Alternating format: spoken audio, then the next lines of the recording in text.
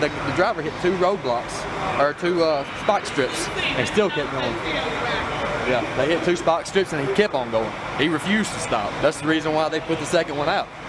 When he finally hit it, that's when we were all hollering in the back, you need to stop, you need to stop. He finally stopped. So the, the driver didn't. He didn't stop after the first spike strip. He went on into Illinois and then he hit the second spike strip.